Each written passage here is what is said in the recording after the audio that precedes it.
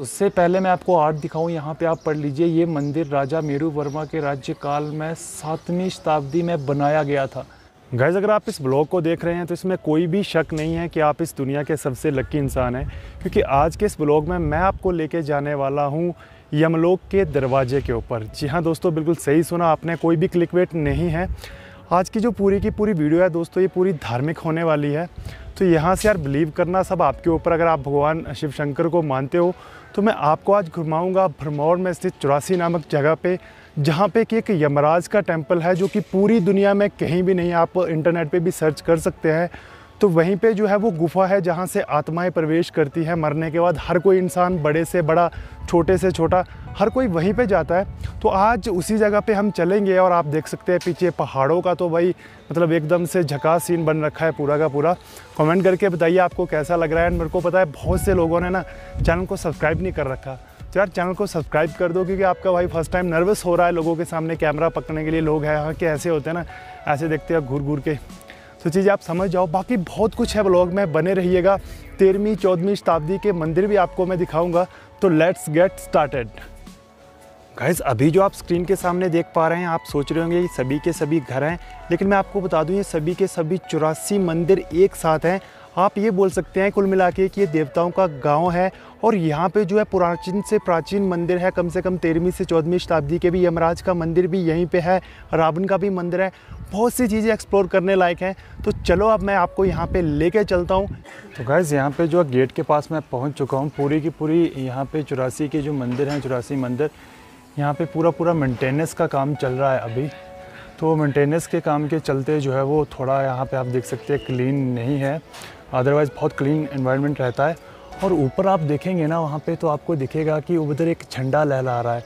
और इस चील के ऊपर ना मतलब ये जो देवदार का पेड़ है, इसके ऊपर भी आदमी चढ़ते हैं, जब इधर पे मेले होते हैं तो। और यहाँ पे तो वही भगवान शिव शंकर का मंदिर है, इसको तो मैं आपको एक्सप्लेन करवाता हूँ। तो ये रहा हमारे प्यारे दुलारे शिव शंकर का मंदिर, जिसको पूरी की पूरी दुनिया मानती है। तो चलिए, आपको यहाँ पे मैं अंदर की तरफ़ लेके चलता हूँ और आर्ट और डिज़ाइनिंग आप देखेंगे ना, साथ में जो देवदार का पेड़ है मतलब पूरे के पूरे मंदिर के ऊपर ना ये चार चाँद लगा के रख देता है। चलिए, अंदर चलते हैं यहाँ पे। मैक्सिमम टाइम पे जो है मंदिर खुले होते हैं। बीच बीच में कोई जो है वो लॉक्ड होता है। तो अभी थोड़ा मैं ब्लॉक के चक्कर में जल्दी आ गया था। चलिए घंटी बजा के चलते हैं। जय भोले शंकर। तो जो भी भोले बाबा के भक्त हैं, उनको मैं यहाँ पे दर्शन करवा रहा हूँ वीडियो के थ्रू।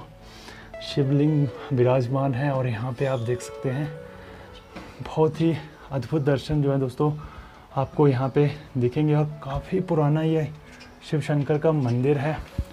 और आर्टिंग अगर आप देखेंगे ना तो पूरे के पूरे मंदिर में आप कहीं भी देख लो मतलब कि यार, मैं इतना बोल सकता हूँ कि कोई आज का जो कलाकार होगा ना, वो भी इन चीज़ों को बना नहीं पाएगा। आप देख सकते हैं, और स्पेशली मैंने जब पता किया था तो कहा जाता है कि देखिए दसवीं, ग्यारहवीं, बारहवीं शताब्दी में ये मंदिर बने हैं। तो इनके बीच में जो देखिए, यहाँ पे ना, उस टाइम पे रेत वगैरह तो होता नहीं था, है ना, कि रेत हो गया, सीमेंट हो गया। तो उस टाइम पे क्या करते थे कि जो यहाँ पे दाल मखनी होती है, उसको पीस के लगाया जाता था। ये मैं कन्फर्म नहीं हूँ बट मैंने ऐसा सुना ज़रूर है। बहुत ही मनमोहक लगता है ये मंदिर, और यहाँ पे कुछ छोटे छोटे शिवलिंग है। हमारे यहाँ पे जब भी कोई शादी वगैरह होती है तो उसके पहले यहाँ पे आके डिसाइड किया जाता है कि कब शादी होगी, कब क्या होगा, है ना? लिखवाते हैं जो शादी ब्याह वो यहाँ पे होता है। और भाई ये देवदार का पेड़ तो मतलब आप समझ ही सकते हैं कि क्या ही ना मतलब मेरे पास ड्रोन नहीं है, वरना दोस्तों मैं आपको पूरा पूरा शूट करके दिखाता। और वहाँ पे अगर आप आर्टिंग देखोगे एक बार तो आप देखिए किस तरह की आर्टिंग जो ऊपर करके रखी है और कितनी मेहनत करी होगी उस टाइम पे। छोटी सी चिड़िया भी भोलेनाथ के दरबार के ऊपर बैठी हुई है। तो काफ़ी खूबसूरत मंदिर है दोस्तों। चलिए माथा टेक लीजिए। तो शिव मंदिर से नीचे उतरते ही आपको सामने दिख जाते हैं नंदी बैल। जो कि शिव शंकर की सवारी है। अब यहाँ पे आप देखेंगे पूरा का पूरा जो बैल है, ये बना हुआ है पीतल से। थोड़ा क्लोज़ करके आपको मैं दिखा देता हूँ।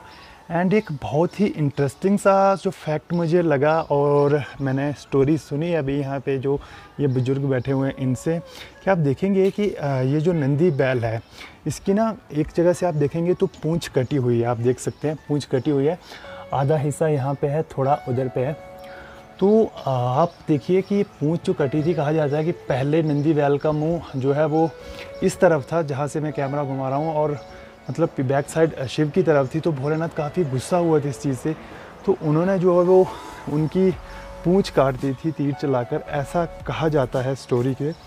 तो आप देखिए ना कितना मतलब और क्या ही आर्ट है, आप एक बार देखेंगे तो आप समझेंगे इन चीज़ों को। गैस यहाँ पर आप देखेंगे नरसिंह मंदिर जो कि श्री कृष्ण के अवतार थे, नर अवतार। तो ये मंदिर दसवीं या ग्यारहवीं शताब्दी में बना, बताया जाता है। तो चलिए लेके चलते हैं आपको मंदिर की तरफ़, अंदर की ओर। तो यहाँ पे आप देख सकते हैं, ये पूरा का पूरा मंदिर है। दोस्तों, अगर आप एक बार डिज़ाइनिंग देखेंगे ना मंदिर की तो मतलब यार, बारहवीं या तेरहवीं शताब्दी में भी आप देख सकते हैं, किस तरह से कि कला जो है वो की जाती थी। कैसे कैसे आर्ट होता था। आप अच्छे से इन चीज़ों को अगर एक्सप्लोर करेंगे तो देख पाएँगे। और ये पूरे के पूरे टेंपल के ऊपर ना ऐसे ही जो है वो डिज़ाइन बना हुआ है।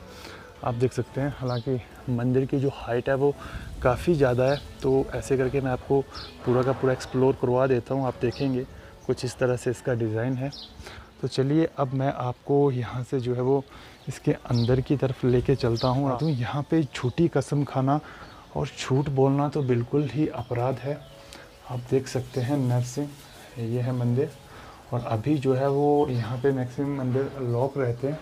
अभी अनलॉक नहीं हैं तो चलिए चलते हैं अभी नेक्स्ट टेंपल की तरफ़। तो दोस्तों, अब बारी है यमराज का मंदिर दिखाने की और आपको वो गुफा दिखाने की। यहाँ पे मैं आपको सबसे पहले बता दूँ, ये है चित्रगुप्त का मंदिर। और यहाँ पे अगर आप देखेंगे तो चित्रगुप्त के मंदिर के अंदर आप जो यहाँ पे देख पा रहे हैं, ये जो फुट स्टेप हैं, यहाँ पे आत्मा खड़ी होती है। और ये जो है, ये किताब है और चित्रगुप्त को आप अच्छी तरह से जानते होंगे कि इनके पास ही जब भी किसी इंसान की मृत्यु हो जाती है तो पूरा लेखा जोखा जो है, वो इन्हीं के पास होता है। यहीं पे आत्मा खड़ी होती है और इसी के पीछे जो है, वो मंदिर है। धर्मराज का जहाँ पे मैं आपको लेकर चलूँगा। सुनने में ना एक स्टोरी से लगती है क्या ये सच में होता होगा या नहीं लेकिन अगर हम अपने शास्त्रों की बात माने तो मरने के बाद हर एक इंसान को जो है वो जाना होता है कचहरी में चित्रगुप्त के पास और जो आप अपनी आँखों से अभी देख रहे हैं धर्मराज के पास जहाँ पे कि आपका पाप और पुण्य का पूरा जो है लेखा जोखा रहता है। तो यार गाइज़ मैं आपको एक ही चीज़ बोलना चाहूँगा अभी इस वीडियो के माध्यम से ना आप लोग एक बार माथा टेक लीजिए, पता नहीं आप कभी भरमौर आ पाएँगे या नहीं, क्योंकि ये मंदिर हर जगह तो है नहीं, सिर्फ़ पूरे इंडिया में एक ही जगह पे है, वो है भरमौर में। तो यहाँ से अगर आप आ नहीं सकते तो एक बार माथा टिक लीजिए, क्योंकि भगवान बोलते हैं ना, दिलों में बसते हैं।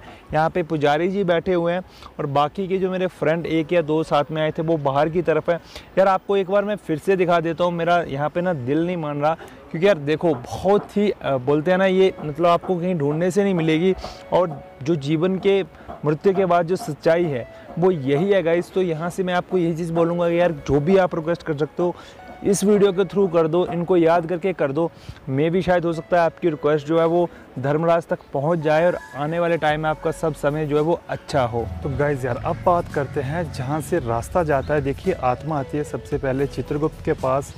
यहाँ से पूरा जो लेखा जोखा होता है वो यहाँ पे पूरा पूरा नोट किया जाता है एक इंसान का। उसके बाद में वो जाती है वहाँ धर्मराज के पास, जहाँ पे मैं अभी आपको लेके गया था। एंड यहाँ पे जो आप देख पा रहे हैं इन साइड में ये जो रूम लॉक है इसी के नीचे जो है दोस्तों वो गुफ़ा है, लेकिन यहाँ पे पॉइंट ये है कि इस गुफ़ा को एक्सेस नहीं किया जा सकता। इसे पूरी तरह से ब्लॉक कर दिया गया है, क्योंकि मैक्सिमम लोगों का ये मानना है, अगर इसे खोला जाए बिना किसी रीज़न के तो ये जो है काफ़ी हद तक मतलब आप समझ सकते हैं ना, बहुत बुरा होता है। फिर और दोस्तों मैं आपको बता दूँ पहले ये खुली रहती थी, और यार सच बताऊँ मैं आपको ना एक चीज़ रियलिटी में जितने भी लोग आज तक इस गुफ़ा में गए भी हैं तो वो कभी लौट के आए नहीं हैं। तो दोस्तों, कभी भी आप भरमौर में विज़िट करेंगे तो आप ज़रूर से इस जगह को देख लीजिएगा। बोला जाता है कि रात के 12-12 एक एक बजे के बाद जो है वो काफ़ी हद तक यहाँ पे अलग अलग तरह की आवाज़ें सुनाई देती हैं। और बाकी का ये आप सेंस देख सकते हैं, कुछ इस तरह का पूरी की पूरी यहाँ पे अलग अलग टेंपल हैं। अगर हर एक टेंपल आपको एक्सप्लेन करूँगा तो 84 टेंपल है। हालाँकि आगे चल के भी मैं आपके लिए इसकी अलग अलग वीडियोस लाऊँगा तो आप अच्छी तरह से देख सकते हो। उससे पहले मैं आपको आर्ट दिखाऊँ, यहाँ पे आप पढ़ लीजिए, ये मंदिर राजा मेरू वर्मा के राज्यकाल में सातवीं शताब्दी में बनाया गया था। आज बीसवीं शताब्दी है और ये सातवीं में बनाया गया था मतलब आज से 1300 साल पुराना मंदिर और अखरोट की लकड़ी से बना हुआ मंदिर है गाइज़ और यहाँ पे आप आर्ट देखेंगे ना एक बार मतलब क्या ही यार गेट बनाया है पूरा का पूरा। और भाई जिस भी मतलब कलाकार ने ये बनाया है ना, कहा जाता है उसने उसके हाथ नहीं थे तो उसने पैरों से ये डिज़ाइन करा था अपने। तो आई डोंट नो कैसे किया होगा, लेकिन पुरानी कथाएँ तो यही बोलती हैं, और भाई क्या ही मतलब यार, क्या चीज़ बनाई है आप एक बार, अच्छी तरह से देखेंगे।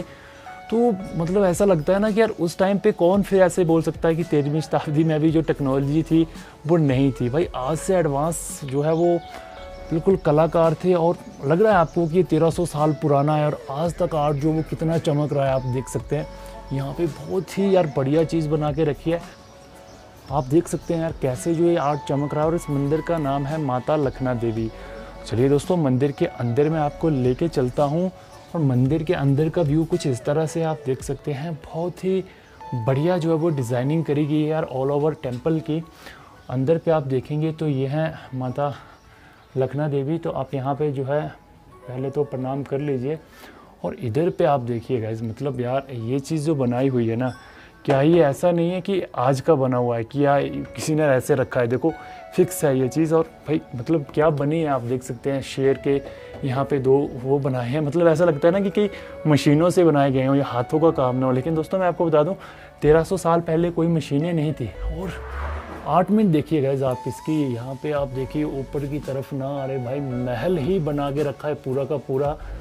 थोड़ी सी लाइट जो है वो यहाँ पे स्ट्रॉन्ग नहीं है, वरना दोस्तों मैं आपको दिखाता कि क्या ही मतलब यार आर्टिंग करी हुई है। तो यार किस तरह से, कैसे ये डिज़ाइन किया होगा, कितना टाइम इस मंदिर को डिज़ाइन करने में लगा होगा, आप ज़रा एक बार सोच के देखिए। मतलब यार ऐसी चीज़ अगर हम हाथ से बनाने पे बैठ जाए ना तो आप देखिए कितना टाइम लग जाएगा उसको। एंड यार बहुत ही अच्छा फील आ रहा है। हर जगह पे जो है ना ऐसे ऐसे मूर्तियाँ बना के रखी हुई हैं, कोई लकड़ी की मूर्तियाँ हैं, कोई मतलब सारी की सारी ये लकड़ी से बना हुआ है, अखरोट जो आप जानते हैं ना, सारा वही का वही ये खेल है।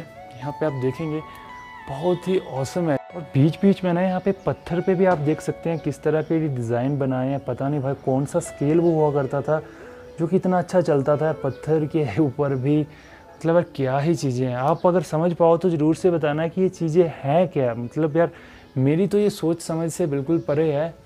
और यहाँ पे क्यों नहीं डिज़ाइनिंग दी गई मुझे ये नहीं पता है लेकिन हाँ इसकी अगर ऊपर की बात करें तो ये चीज़ डिज़ाइन करी गई है, ये चीज़ डिज़ाइन करी गई है। वहाँ पे आप देखेंगे वो चीज़ डिज़ाइंड है, वो डिज़ाइनड है।